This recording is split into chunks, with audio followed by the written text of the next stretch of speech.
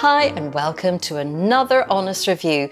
Regular viewers of this channel will know that over the last few weeks I've been putting lots of different anti-aging treatments to the test to find out which one is best value. I've looked at things like laser devices that you can use at home, thermal ablation in salon and lots more. This week I'm putting something that's non-invasive to the test and it's this new Elemis Ultra Smart Pro Collagen Complex 12 serum. And the makers say this is a new frontier in anti-aging that you will see visible difference with within weeks. So does it work? Let's find out. So this product is designed to firm, smooth and rejuvenate the skin. And the magic ingredients, according to Elemis, is a mix of seaweed extracts, which are designed to produce collagen and elastin in the skin. And it also includes uh, good old hyaluronic acid to smooth the skin as well. And some of the before and after pictures that Elemis have released as part of their publicity are very impressive indeed. I've used the product morning and nightly now for the past month and as recommended I've done that every morning and every night as part of my normal beauty routine.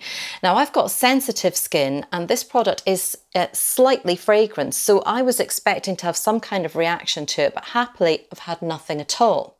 You might have seen in my other videos that I had tried out firstly the Tixel thermal ablation treatment for sagging around my eyelids and I also used the Nira laser on my forehead this summer to treat some of the lines. So I had already had pretty good results with them.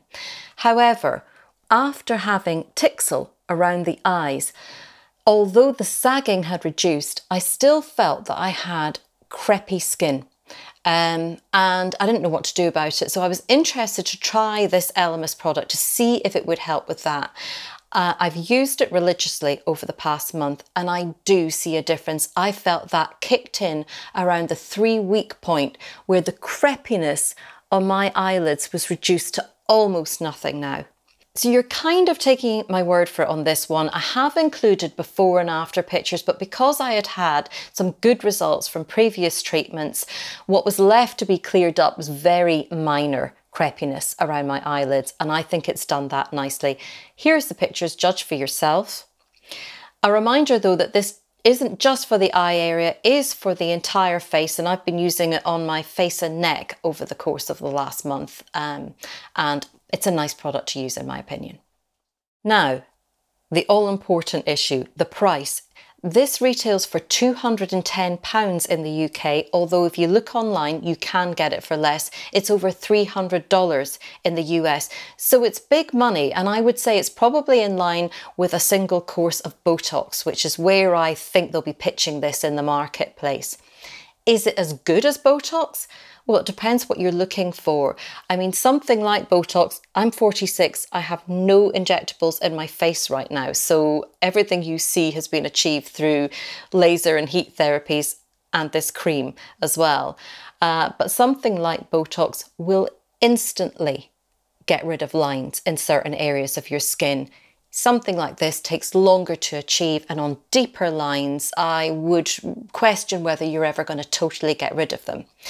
However, if you're not somebody who wants to use injectables, then I think this cream is a really good second option if you can stomach the price.